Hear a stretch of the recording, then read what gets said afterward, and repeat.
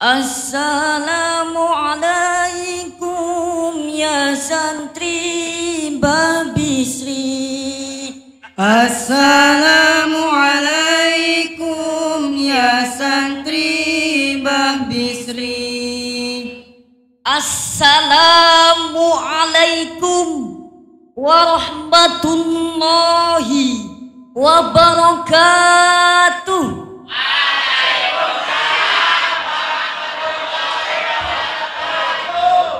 Alhamdulillahilladzi arsala rasulam mubashirina wa mudirin wa da'iyan ilallahi bi'idni wa sirajan munira. Allahumma salli wa sallim ala nabina Muhammad wa sahbihi ajma'in. Amma ba'du.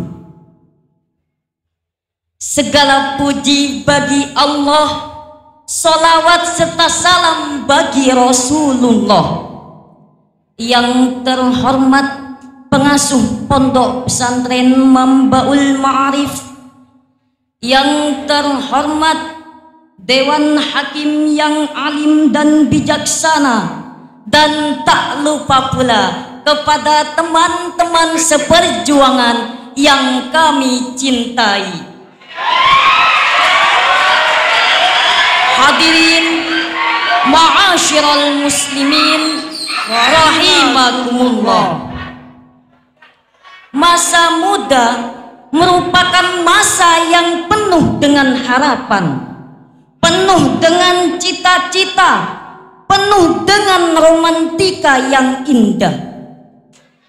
Keindahan masa muda dihiasi oleh fisik yang masih kuat, berjalan masih cepat, pendengaran masih akurat, pemikiran masih cermat, dan wajah pun masih indah dan mengkilat.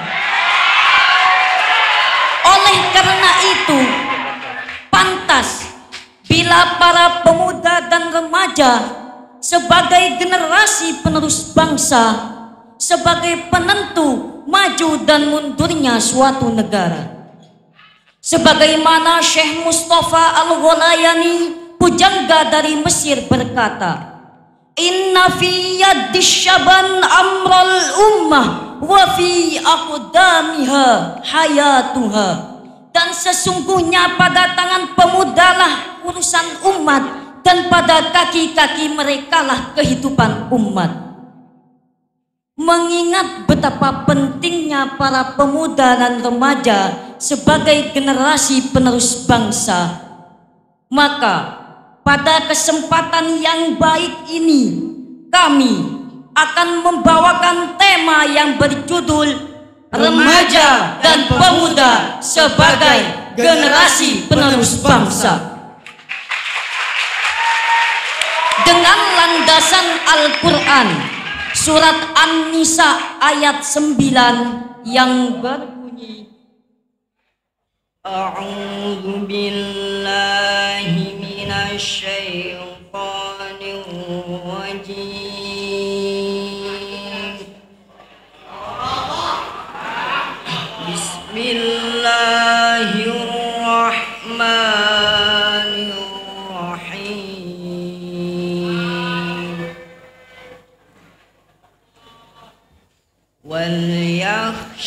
الذين لو تركوا من خلفهم ذرية ضعافا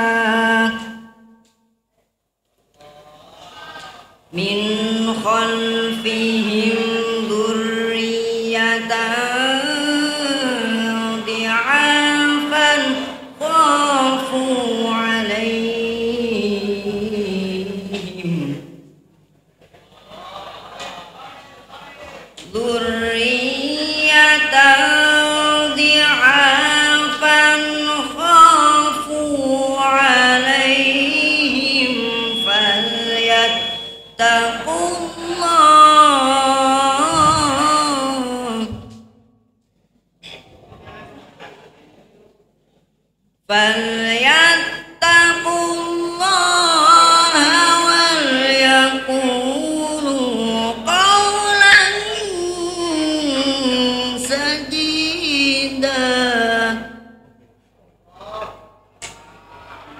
فليتقوا الله وليقولوا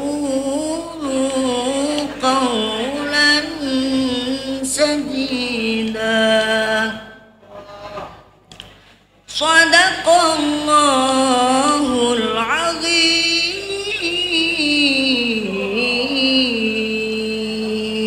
Aku berlindung kepada Allah dari godaan syaitan. Yang terkutuk. Dengan menyebut nama Allah yang maha pengasih lagi maha penyayang. Dan hendaklah takut kepada Allah orang-orang yang meninggalkan di belakang mereka anak-anak yang lemah yang mereka khawatir akan kesejahteraan mereka. Oleh sebab itu, maka hendaklah bertakwa kepada Allah dan hendaklah mereka mengucapkan perkataan yang benar. Maha benar Allah dengan segala firman-Nya. Imam Hafid Imaduddin Abu Al-Fida Ibnu Kathir dalam kitab tafsir Al-Quranul Azim mengatakan bahwa diriwayatkan dari Ibnu Abbas ayat ini turun besertaan dengan seorang orang tua yang mewasiatkan kepada anaknya dengan wasiat yang memberikan kemudorotan bagi mereka. Maka Allah Subhanahu wa taala memerintahkan kepada mereka untuk mengubah takwa kepada Allah dan kebaikan. Hadirin ma'asyiral muslimin Rahimakumullah. Profesor Dr. B.J. Habibie mengatakan setidaknya ada lima kelemahan yang harus kita hindari lemah ilmu, lemah fisik, lemah harta, lemah semangat hidup, dan yang sangat ditakutkan lagi lemah akhlak.